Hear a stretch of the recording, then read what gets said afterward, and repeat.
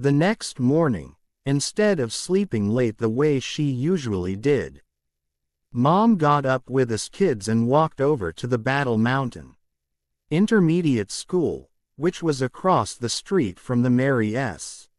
Black Elementary School. She applied for a job and was hired right away, since SHE had a degree, and there were never enough teachers in Battle Mountain. The few teachers the town did have were not exactly the pick of the litter, as Dad liked to say, and despite the shortage, one would get fired from time to time.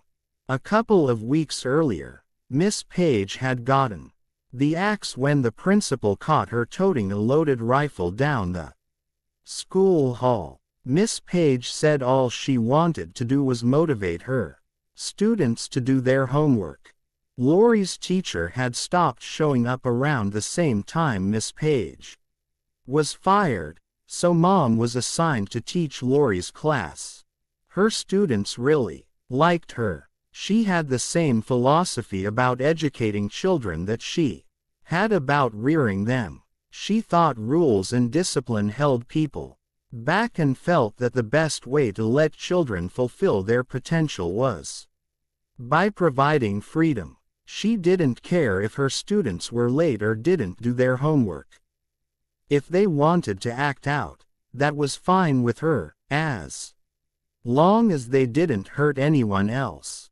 Mom was all the time hugging her students and letting them know how wonderful and special she thought they were.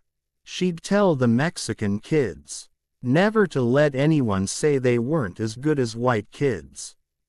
She'd tell the Navajo and Apache kids they should be proud of their noble Indian heritage. Students who were considered problem kids are mentally slow started doing well. Some followed mom around like stray dogs.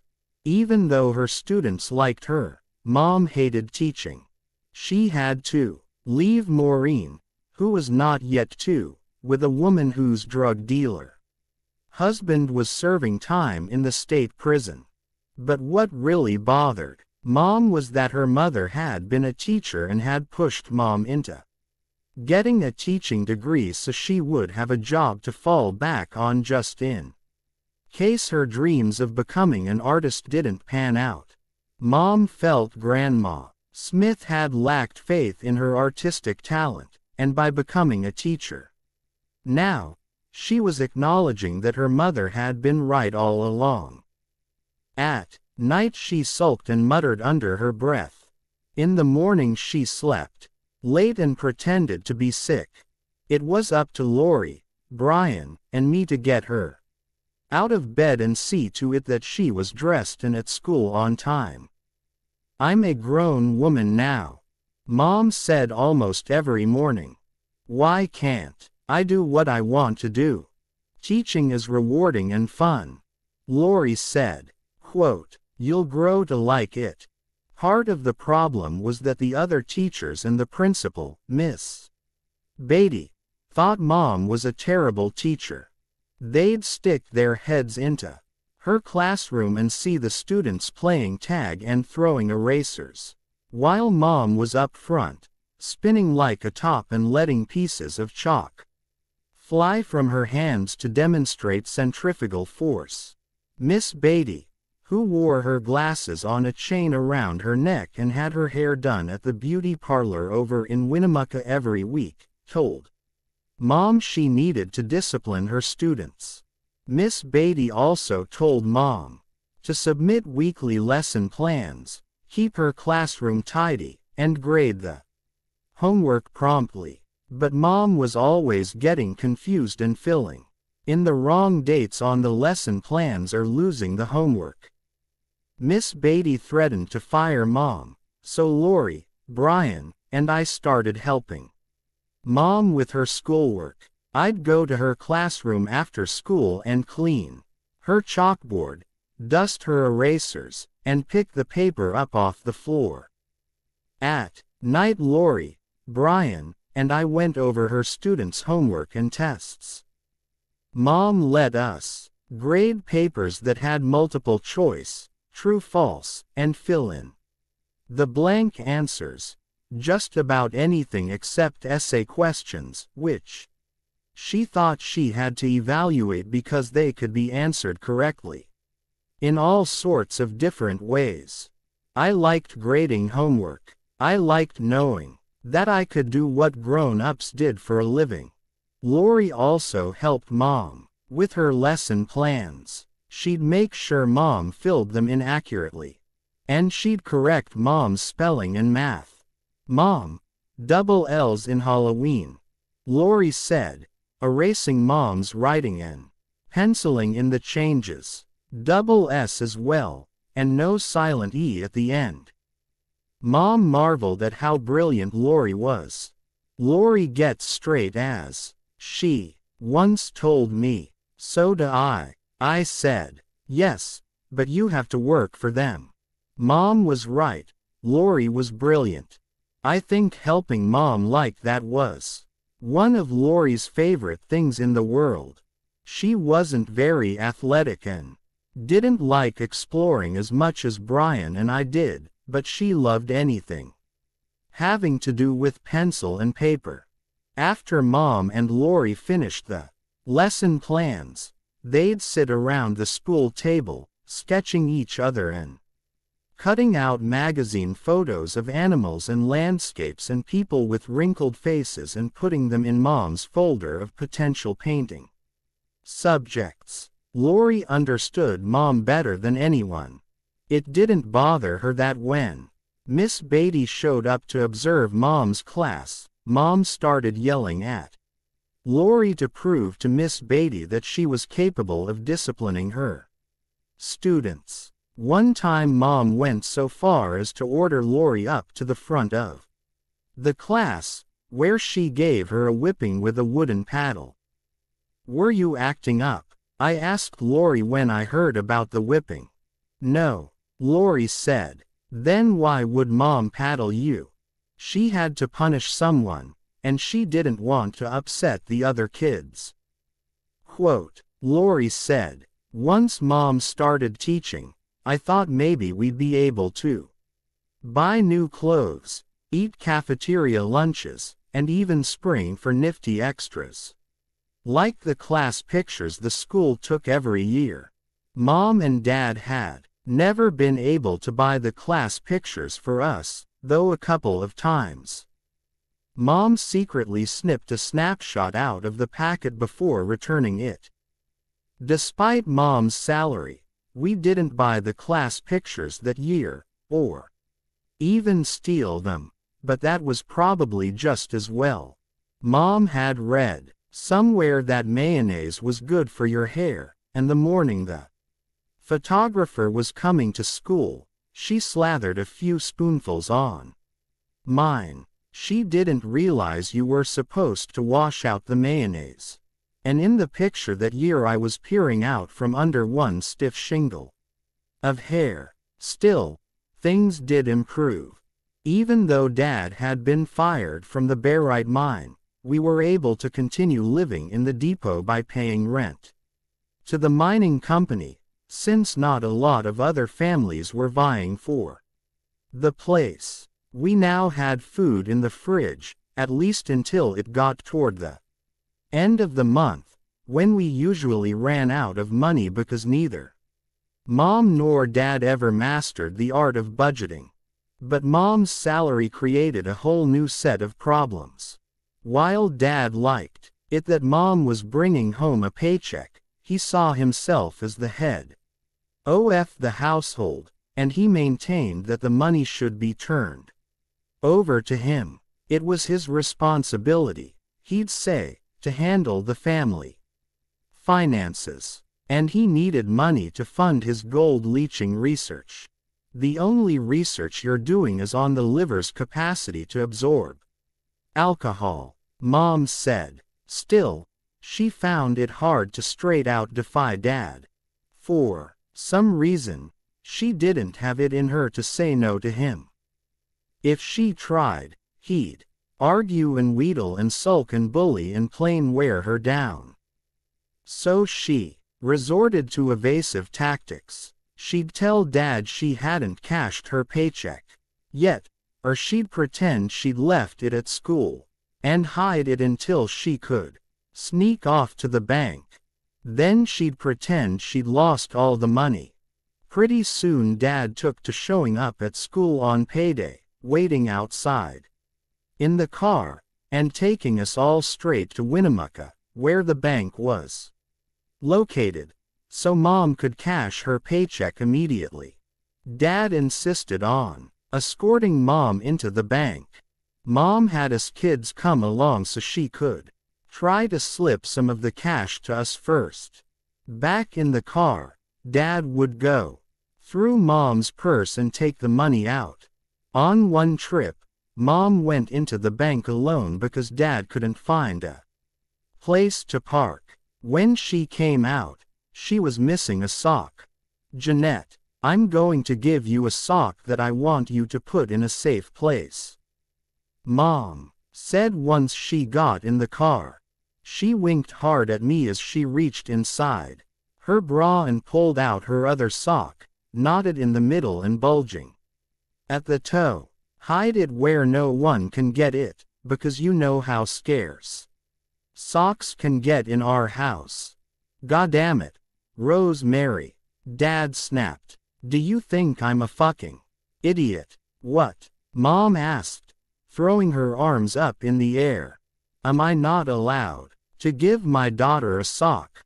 She winked at me again, just in case I didn't get it. Back in Battle Mountain, Dad insisted we go to the Owl Club to celebrate payday, and ordered steaks for all of us. They tasted so good, we forgot we were eating a week's worth of groceries. Hey, mountain, goat, Dad said at the end of the dinner, while Mom was putting our table scraps in her purse. Why don't you let me borrow that sock for a second? I looked around the table. No one met my eye except Dad, who was grinning like an alligator. I handed over the sock. Mom gave a dramatic sigh of defeat and let her head drop down on the table. To show who was in charge, Dad left the waitress a $10 tip, but on the way out, Mom slipped it into her purse. Soon we were out of money again. When Dad dropped Brian and me off at school, he noticed that we weren't carrying lunch bags. Where are your lunches? Dad asked us. We looked at each other and shrugged. There's no food in the house. Brian said. When Dad heard that, he acted outraged, as though he'd learned for the first time that his children were going hungry. Damn it, that Rose Mary keeps spending money on art supplies. He muttered, pretending to be talking to himself. Then he declared more loudly. No child of mine has to go hungry. After he dropped us off, he called after us. Don't you kids worry about a thing. At lunch Brian and I sat together in the cafeteria. I was pretending to help him with his homework so that no one would ask us why we weren't eating when Dad appeared in the doorway, carrying a big grocery bag.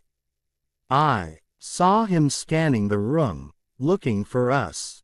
My young uns forgot to take their lunch to school today.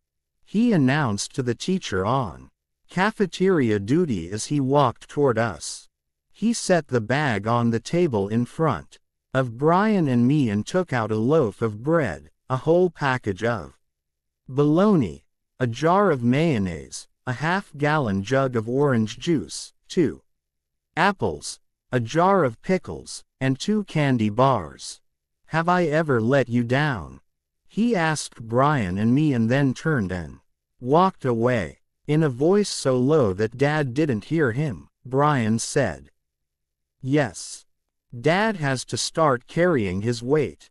Lori said as she stared into the empty refrigerator. He does. I said. He brings in money from odd jobs.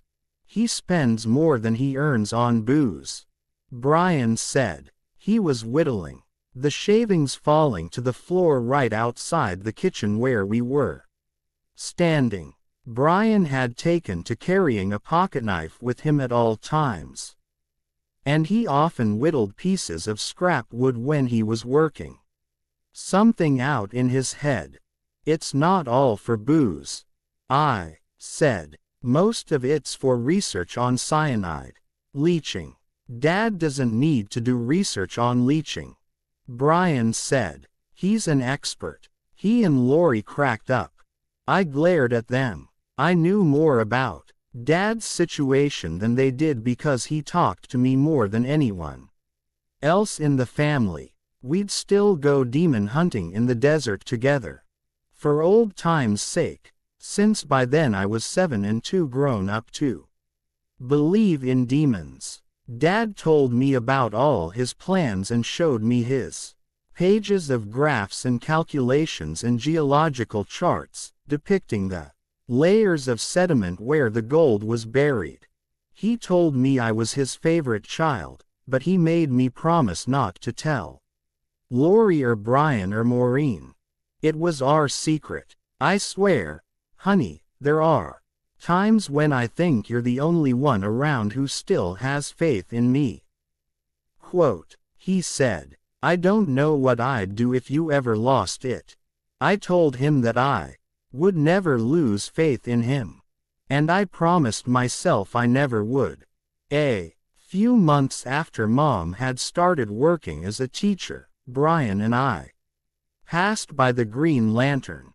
The clouds above the setting sun were streaked scarlet and purple. The temperature was dropping quickly, from searing hot to chilly within a matter of minutes, like it always did in the desert at dusk. A woman with a fringed shawl draped over her shoulders was smoking a cigarette on the Green Lantern's front porch. She waved at Brian, but he didn't wave back. You who? Brian, it's me, Sugar. Ginger, she called. Brian ignored her. Who's that? I asked. Some friend of Dad's. He said. She's dumb. Why is she dumb? She doesn't even know all the words in a sad sack comic book. Brian said. He told me that Dad had taken him out for his birthday a while back. In the drugstore, Dad had let Brian pick out whatever present he wanted, so Brian chose a sad sack comic book. Then they went to the Nevada Hotel, which was near the Owl Club and had a sign outside saying Bar Grill. Clean modern. They had dinner with Ginger, who kept laughing and talking real loud and touching both Dad and Brian. Then all three climbed the stairs to one of the hotel rooms. It was a suite, with a small front room and a bedroom. Dad and Ginger went into the bedroom while Brian stayed in the front room and read his new comic book. Later, when Dad and Ginger came out, she sat down next to Brian. He didn't look up. He kept staring at the comic book, even though he'd already read it all. The way through twice. Ginger declared that she loved Sad Sack. So Dad made Brian give Ginger the comic book, telling him it was the gentlemanly thing to do. It was mine, Brian said, and she kept asking me to read the bigger words. She's a grown up, and she can't even read a comic book. Brian had taken such a powerful dislike to Ginger that I realized she must have done something more than Shanghai his comic book. I wondered if he had figured out something about Ginger and the other ladies at the Green Lantern. Maybe he knew why Mom said they were bad. Maybe that was why he was mad. Did you learn what they do? Inside the Green Lantern, I asked. Brian stared off ahead. I tried to see what he was looking at, but there was nothing there except for the Tuscarora Mountains rising up to meet the darkening sky. Then he shook his head. She makes a lot of money. Quote, he said. And she should buy her own darn comic book. Some people like to make fun of Battle Mountain.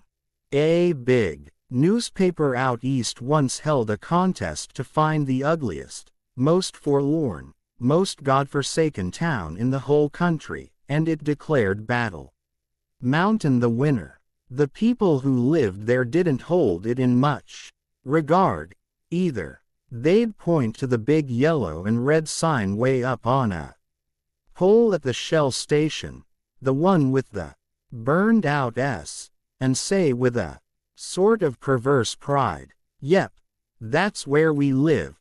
Hell. But I was happy in Battle Mountain. We'd been there for nearly a year.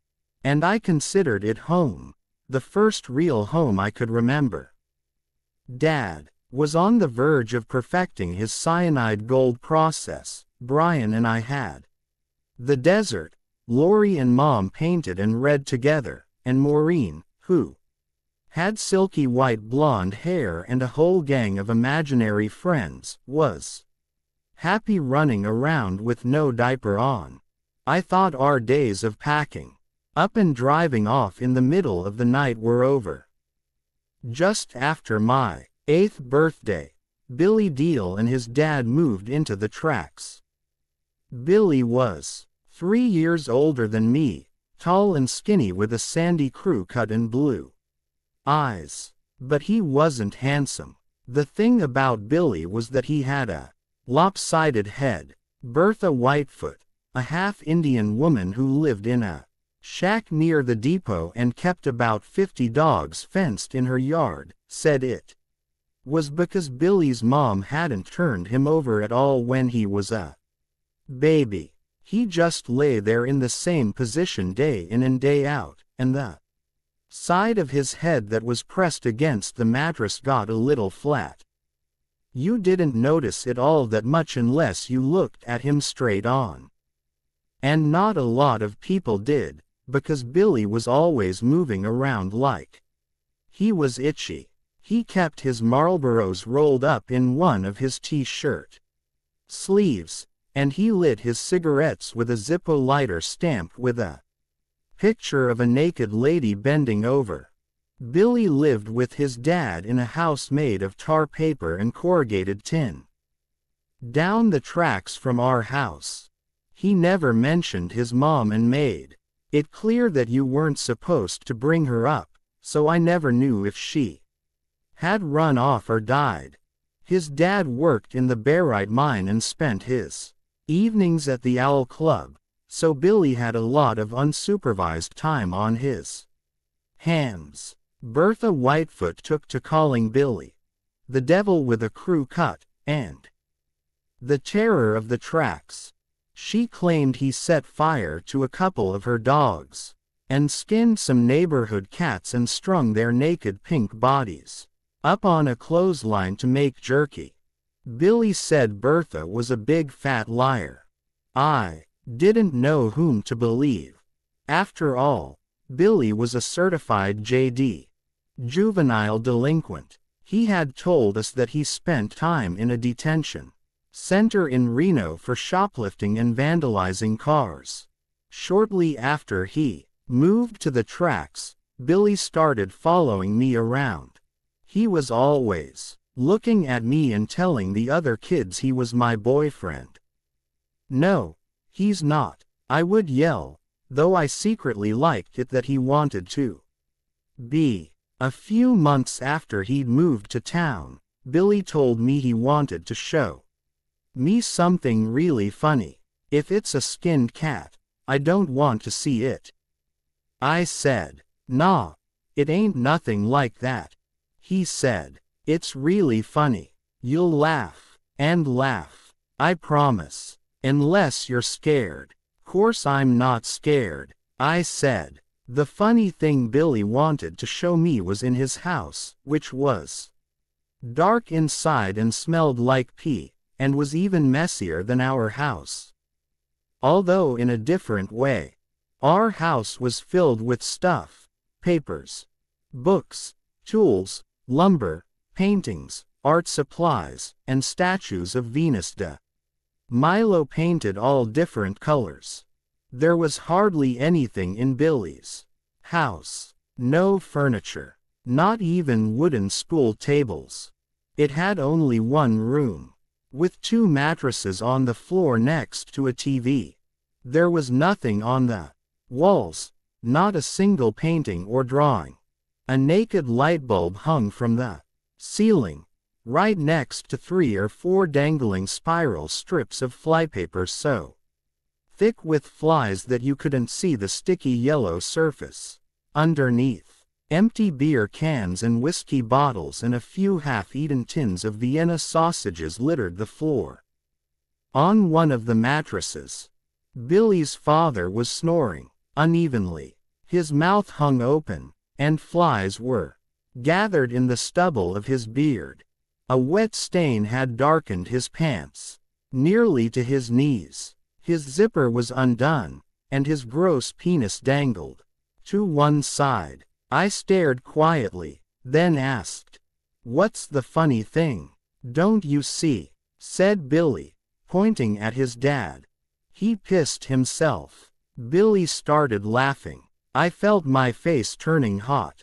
You're not supposed to laugh at your own father. I said to him, ever. Ah, now, don't go get all high and mighty on me. Billy said, Don't go, and try and pretend you're better than me. Cause I know your daddy ain't. Nothing but a drunk like mine. I hated Billy at that moment, I really did. I thought of telling him about binary numbers and the glass castle and Venus and all the things that made my dad special and completely different from his dad but I knew. Billy wouldn't understand. I started to run out of the house, but then I stopped and turned around. My daddy is nothing like your daddy. I shouted. When my daddy passes out, he never pisses himself. At dinner that night, I started telling everyone about Billy Deals.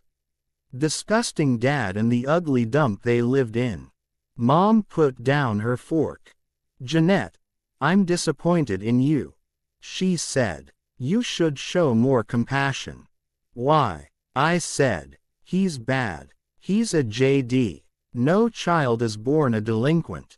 Mom said, They only became that way. She went on, if nobody loved them when they were kids. Unloved. Children grow up to become serial murderers or alcoholics. Mom looked pointedly at Dad and then back at me. She told me I should try to be nicer to Billy. He doesn't have all the advantages you kids do. She said. The next time I saw Billy, I told him I'd be his friend, but not his girlfriend. If he promised not to make fun of anyone's dad. Billy promised, but he kept trying to be my boyfriend. He told me that if I'd be his girlfriend, he would always protect me and make sure nothing bad ever happened to me and buy me expensive presents. If I wouldn't be his girlfriend, he said, I'd be sorry. I told him if he didn't want to be just friends, fine with me, I wasn't scared of him. After about a week, I was hanging out with some other kids from the Tracks. Watching garbage burn in a big rusty trash can. They were all throwing in pieces of brush to keep the fire going, plus chunks of tire treads, and we cheered at the thick black rubber smoke that made our noses sting as it rolled past us into the air. Billy came up to me and pulled my arm, motioning me away from the other kids. He dug into his pocket and pulled out a turquoise and silver ring. It's for you, he said. I took it and turned it over in my hand. Mom had a collection of turquoise and silver Indian jewelry that she kept at Grandma's house so Dad wouldn't pawn it. Most of it was antique and very valuable. Some man from a museum in Phoenix kept trying to buy pieces from her and when we visited Grandma, Mom would let me and Lori put on the heavy necklaces and bracelets and concha belts. Billy's ring looked like one of Mom's. I ran it across my teeth and tongue like Mom had taught me to. I could tell by the slightly bitter taste that it was real silver. Where'd you get this? I asked. It used to be my mom's. Billy said. It sure was a pretty ring. It had a simple thin band and an oval-shaped piece of dark turquoise held in place by snaking silver strands. I didn't have any jewelry and it had been a long time since anyone had given me a present, except for the planet Venus. I tried on the ring. It was way too big for my finger, but I could wrap yarn around the band the way high school girls did when they wore their boyfriend's rings. I was afraid, however, that if I took the ring, Billy might start thinking that I had agreed to be his girlfriend.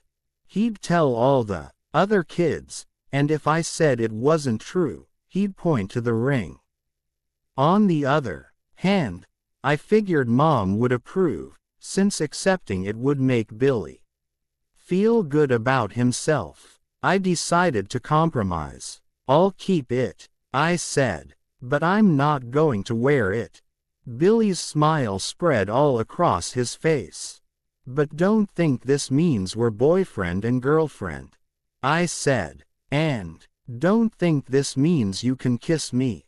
I didn't tell anyone about the ring, not even Brian. I kept it in my pants pocket during the day, and at night I hid it in the bottom of the cardboard box where I kept my clothes. But Billy Deel had to go and shoot his mouth off about giving me the ring. He started telling the other kids things like how, as soon as I was old enough, me and him were going to get married. When I found out what he was saying, I knew accepting the ring had been a big mistake. I also knew I should return it. But I didn't. I meant to, and every morning, I'd put it in my pocket with the intention of giving it back, but I couldn't bring myself to do it. That ring was too darn pretty.